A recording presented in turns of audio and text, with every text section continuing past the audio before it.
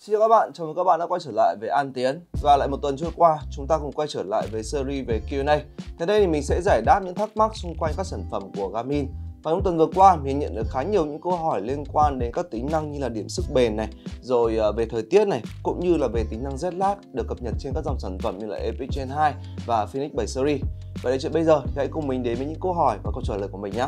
Và không để các bạn chờ lâu nữa, chúng ta sẽ bắt đầu video ngay bây giờ thôi.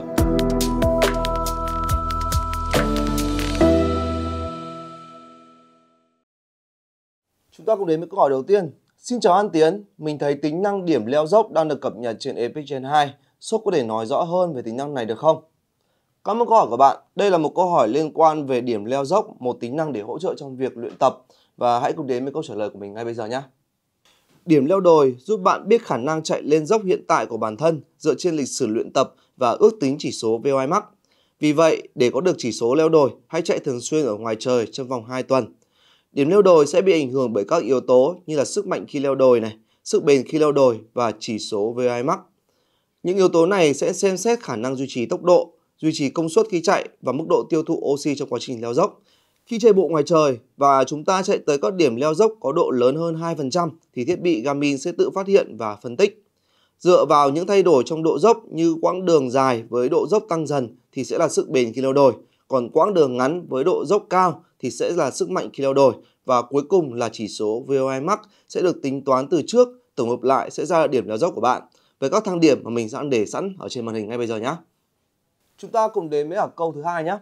Chào shop, mình đang quan tâm về tính năng ZLab Advice. Shop có thể chia sẻ thêm về tính năng này và cách thức hoạt động của nó được không? Ok, cảm ơn bạn. Với tính năng về ZLAG Advice này thì lần đầu tiên được cập nhật trên các dòng sản phẩm đó chính là ở trên các mẫu Mark Gen 2 series và hiện tại thì nó cũng đã có ở trên các dòng sản phẩm như là Epic Gen 2 và Phoenix 7 series rồi. Và hãy cùng mình đến với câu trả lời ngay bây giờ nhé. ZLAG Advice là tính năng có trên ở một số mẫu đồng hồ Garmin với mục đích đưa ra một vài gợi ý giúp bạn giảm thiểu ảnh hưởng từ Z lag. Để sử dụng một tính năng này thì các bạn sẽ cần thông qua ứng dụng Garmin Connect ở trên điện thoại thông minh và điền thông tin về chuyến đi của bạn.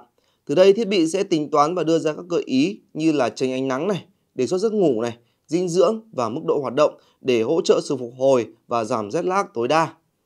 Một điểm cần lưu ý là jet lag advice sẽ hoạt động tốt cho các chuyến đi có múi giờ lệch trên 3 tiếng, còn dưới 3 tiếng thì tính năng này vẫn hoạt động nhưng sẽ không bao gồm những hướng dẫn trước chuyến đi nhé.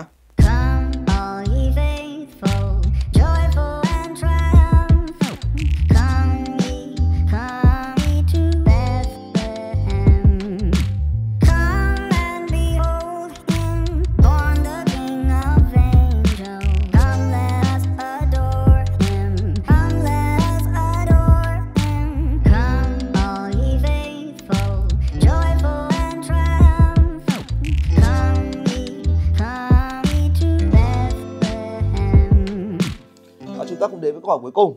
Xin chào An Tiến, mình đang muốn tìm hiểu thêm về tính năng thời tiết ở trên các đồng hồ Garmin. Hiện tại có những chỉ số nào và cần phải làm gì để có đầy đủ các chỉ số này? Cảm ơn câu hỏi của bạn. Và với công cụ về thời tiết là một cái công cụ mới mà hiện tại thì ở trên các dòng sản phẩm cao cấp của Garmin như là các dòng sản phẩm Forerunner 265 này hay là 965 và các sản phẩm cao hơn nữa như là Epic Gen 2 thì cũng đã được cập nhật rất nhiều và chi tiết về tính năng thời tiết này. Và hãy cùng mình đến với câu trả lời ngay bây giờ. Công cụ thời tiết trên Garmin có khá đầy đủ các chỉ số mà chúng ta cần biết.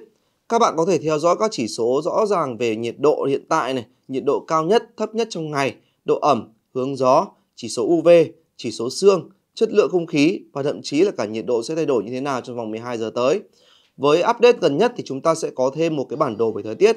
Với bản đồ này thì các bạn có thể theo dõi sự thay đổi của chỉ số như là về mây này, tốc độ gió này, nhiệt độ thay đổi ở tại vị trí của các bạn trong vòng 3 giờ.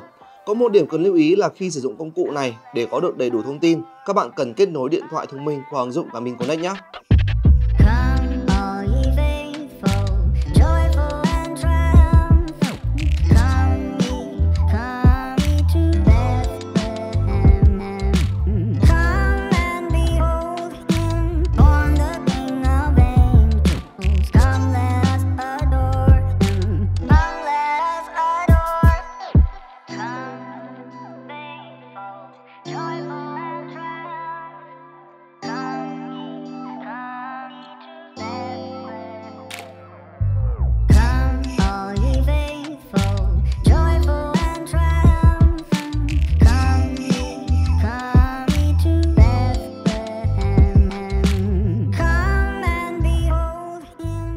Vừa rồi là toàn bộ những câu hỏi của tuần này và hy vọng những thông tin mình vừa chia sẻ giúp các bạn có thể hiểu rõ hơn về những tính năng đến từ thương hiệu Garmin. Và nếu như các bạn có câu hỏi gì, hãy comment ở phía video này và hay là ở trên fanpage của chúng mình và mình sẽ cố gắng giải đáp trong khoảng thời gian sớm nhất.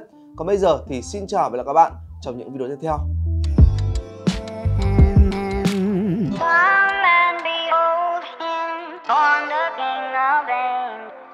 Come